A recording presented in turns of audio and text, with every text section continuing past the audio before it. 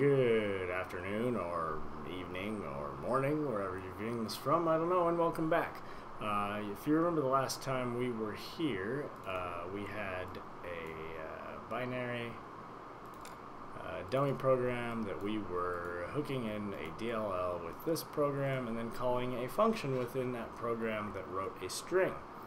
Now I've made some modifications to the code and I've, uh, like I said I would, and I have went ahead and actually commented that stuff. Uh, I don't know why I didn't comment a lot of the code before. It was probably because I was doing a video on it, but obviously not everyone's going to want to watch the whole video just to know what one line of code does. And it's just good practice. Generally, as you know, like in this one, I always comment line by line. Um, but for some reason I did not. Um, now, you can see a few things different about, uh, so this here is our program. And you see a few things different right off the bat. Um, we have this args buff that's initialized to 0, uh, as well as this ret buff that is initialized with zeros. Now, if we Scroll down, the rest of it's about the same until we get to here and we see uh, that we have a string here. Oh wait, that's from the old one. We don't need that anymore. Let's just go ahead and get rid of that. Um, yeah, we don't we don't need any of this anymore.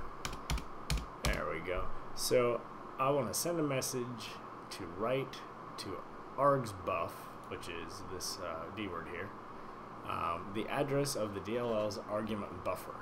So we're going to post a message to the DLL window with the message 1101, the WParam of our process ID, because it's easier for us to get it for than for our DLL to get it. It's extra work.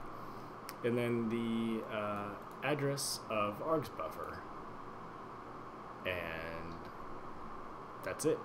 Well, maybe. Then we are going to wait because who knows, memory could take a while to, uh, you know, Right. You never know. We're going to wait for 100 milliseconds 20 times, total of 2 seconds, or until the args buffer changes, at which point it will output the new one. So let's look at our DLL. Now, I know that some of this doesn't have uh, comments. Uh, I'll go back through and add comments a little bit later. But if we look at the top here, we see retbuff address, args buff, and that's about all that's changed up there. But we see these functions, write args buff to dword PID, dword args buff pointer. Alright, so we need a dword to store the address that we want to write. So let's make one, call it args buff address, and set it equal to our passed in or no to to the address of our args buff right here argument buffer we'll call it which is just a, a 512 long byte buffer whatever chunk of memory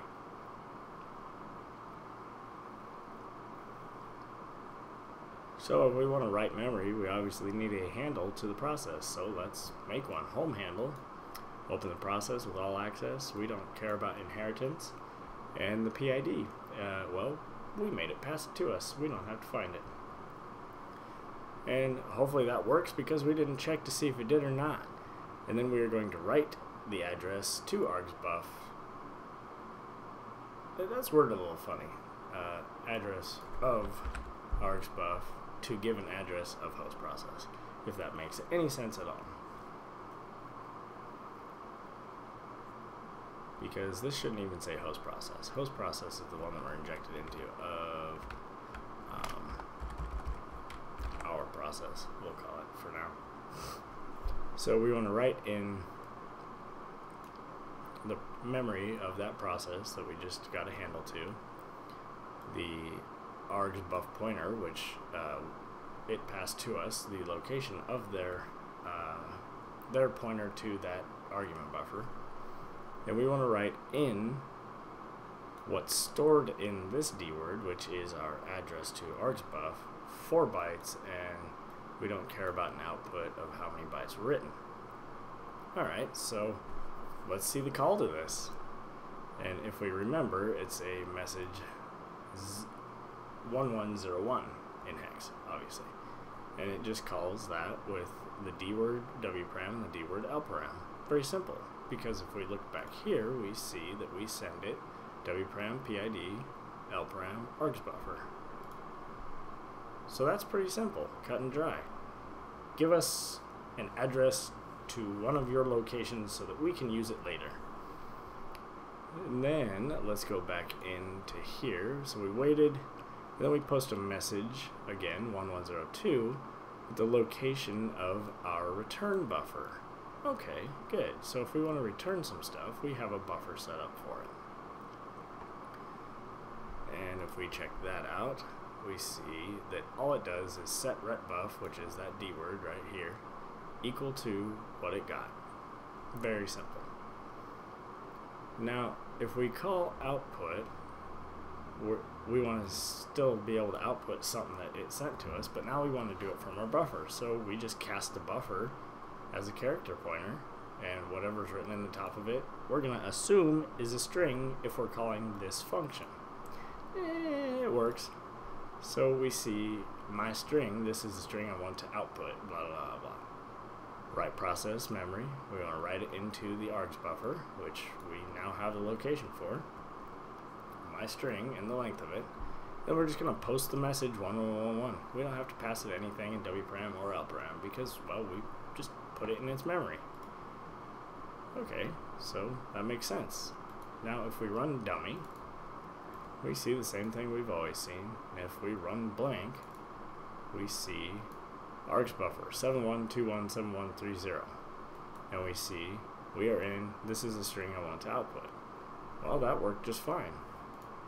Pressing the key, closes, and close this guy, and we're back into here.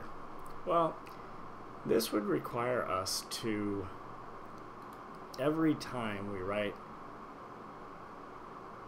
so obviously these need to be broken down into functions, which later they would be. But for now, we're just testing to make sure that things work. Now, this requires us to write basically one one thing, that's it, and know exactly what it is.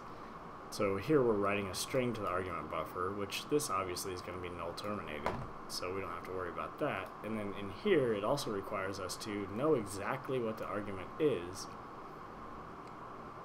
and we only have room for one. Yeah, you could use it, but instead what we're going to end up doing is making a structure. And within that structure, we are going to use these 512 bytes to say, you know, we'll probably make a simple structure that's like string 1, string 2, string 3, int 1, int 2, int 3. You know, just various little uh, data types within it that we can pass.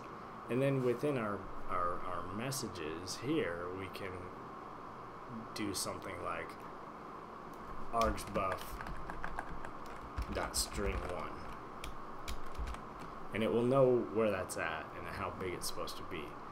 And that could get a little complicated because we're going to have to uh, say have a maximum string length. Well, that's why we have 512 bytes, and we can always make it bigger if we need to, because ints and uh, and you know, anything else that you want to pass is going to be rather small. Uh, strings, if you want to pass string, obviously is going to be the biggest thing.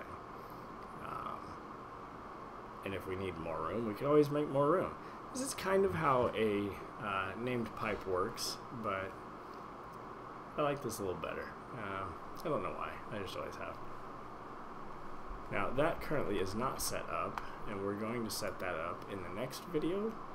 Um, I could have probably squeezed it into this one, but we're going to go ahead and wait because really all that it is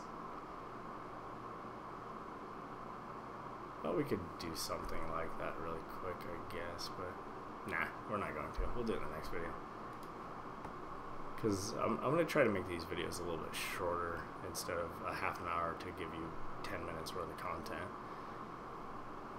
And so this seems like kind of a waste. We're just posting a message. We're not using wparam or lparam. Well, we could use that to pass the number of bytes that the string is, or you know other various informations. Um, and then obviously, like I said, we would use a function uh, that would do the write process and the post message, and it would take in what it. Yeah, that's about probably about all it would do. Um, you would pass it. You just make little functions for each one. Uh, there's a few ways you can do it that would just call this with an argument and then do this with the argument of which one you want to send. Um, yeah, so I hope that you're getting a kind of an idea of how this works. And in the next video, we'll have the structure, and we will uh, also be returning uh, data to our uh, our program, and we will be looking at how to uh, wait for that information to come back uh, without actually uh, being too inefficient. Um, so yeah, thanks for watching. I hope that you uh, learned a little bit, and I will toss this in the Dropbox with the updated code. Uh, it's kind of getting a little messy uh, just because when this compiles it names it blank instead of our program. So I'm actually at this point just going to delete our program because it, it is it's meaningless. Uh, just remember that ours is called blank. Um, everything else seems to be named just fine. I, I, could update that in the project information, which I probably should do, but I'm just not going to right now. Uh, maybe later. I don't know. Probably not. Don't care. Um, yeah. So you'll be able to download that, play with this, see what's going on, and go ahead and actually try um, to build that structure that would take in those uh, values and see what you can do. Um, see if you, uh, it's actually pretty simple.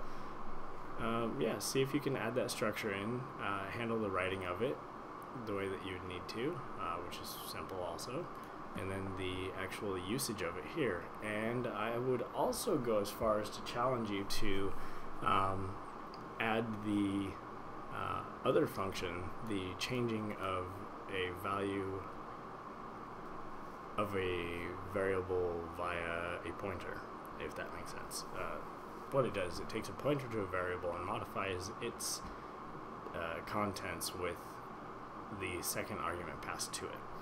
Um, the address isn't here. Uh, we did find the address in a previous video, and in the next video we will have that. We'll have the struct, and we will be writing return, writing and processing return data. But yeah, thanks for watching. Uh, good luck with all that, and if you find anything, let me know. Or uh, yeah, peace.